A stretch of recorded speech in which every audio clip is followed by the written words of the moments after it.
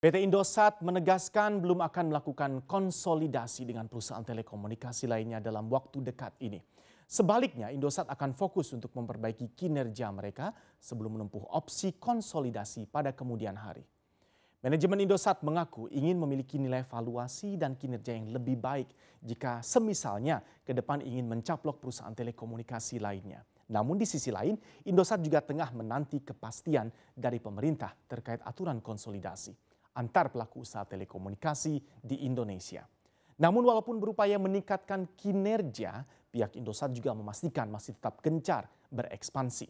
Bahkan untuk tiga tahun ke depan, emiten telekomunikasi ini akan menggelontorkan belanja modal atau capital expenditure capex sebesar 2 miliar dolar Amerika Serikat atau sekitar 30 triliun rupiah.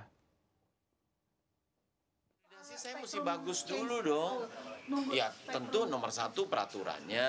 Habis itu saya mesti bagus dulu. Kalau kan nanti saya yang dicaplok. Udah ada talk sama Tri, Tri Pak? enggak siapa